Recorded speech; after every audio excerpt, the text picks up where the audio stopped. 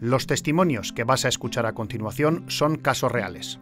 Son frases grabadas a mujeres que han sido víctimas de violencia, fundamentalmente de carácter psicológico. No obstante, tanto las imágenes como las voces han debido ser recreadas, ya que las protagonistas han solicitado que se garantice su anonimato. Gracias a testimonios como estos, cualquier persona podrá ver y detectar la violencia más oculta para poder atajarla.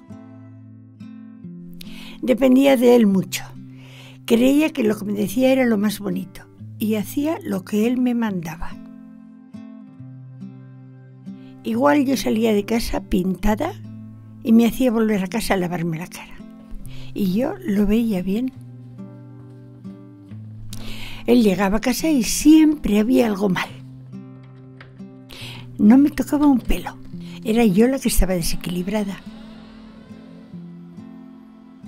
Era yo abrir la boca y todo parecerle mal. Creía que eran figuraciones mías. Pensaba que era yo la que tenía que cambiar. Se me hacía muy difícil vivir. Aparentaba disfrutar, pero estaba sin fuerzas. Te quita la salud.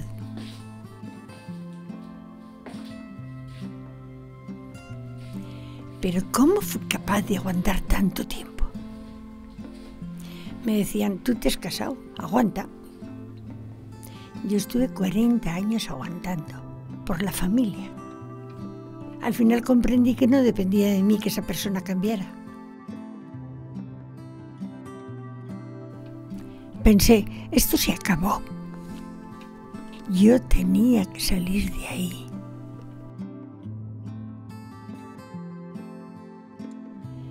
Cuando se te cae el velo sientes culpa, luego impotencia, después miedo porque no sabes a quién agarrarte.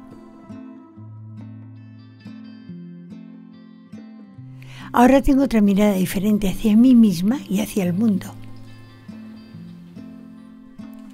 No estoy sola, no me pasa solo a mí, no era producto de mi imaginación. No me reconozco en la persona que era hace 30 o 40 años.